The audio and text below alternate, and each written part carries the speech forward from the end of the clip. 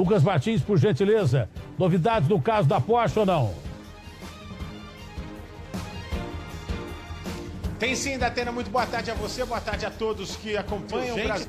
O rapaz, o amigo do motorista da Porsche que estava dentro do carro, acaba desmentindo a namorada dele, prestou depoimento dentro do hospital. De acordo com o próprio advogado desse rapaz, ele confirmou que o Fernando bebeu durante o jantar num restaurante. Depois ele disse que eles foram ao poker, lá ficaram separados, mas quando saiu, Fernando estava alterado da Atena e dirigiu em alta velocidade. Eu entendi.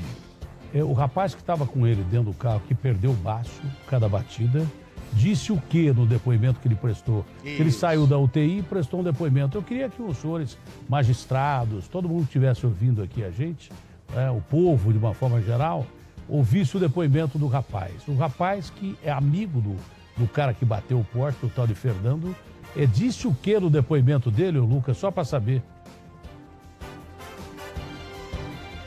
Disse que o Fernando, o motorista, está, havia bebido, bebida alcoólica, e que estava alterado quando saiu do poker no momento que decidiu é, dirigir em alta velocidade até bater no carro do Arnaldo Viana, tinha 52 anos que morreu. Contrariando o que disse a namorada, o amigo que perdeu o baço, quase morreu por causa desse cara aí, disse que o cara bebeu e estava alterado dirigindo a Porsche.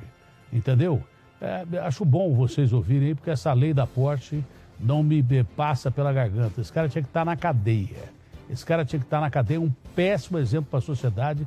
Esse cara está solto. O amigo que estava dentro do carro com ele se ferrou todo. Diz que ele bebeu, estava alterado, é? e alterado ele a, a milhão, não sei a que velocidade, porque tinha radares todos quebrados, né? É, eu acho gozado. Primeiro, esse prefeito se aproveita de radar pra caramba na cidade. E agora, de repente, me parece uma jogadinha que a, a CT queria aumentar o número de radares. Aí vem o Ricardo Nunes e diz o seguinte: não, eu não quero que aumente radares. Parece jogada Pelé Coutinho, né, Gafa? Essa bem ensaiada ainda. É, bem ensaiada. Aí o radar do Ricardo não estava funcionando no dia da Porsche, estava, o, o, o, Felipe Gafa? A CT confirmou que não, é, Eu não estava confirmando. Está é, confirmando aí que o radar não estava funcionando no dia que o cara convenientemente bateu a Porsche, matou o rapaz do aplicativo, não estava funcionando o radar. Me ajuda aí, ó.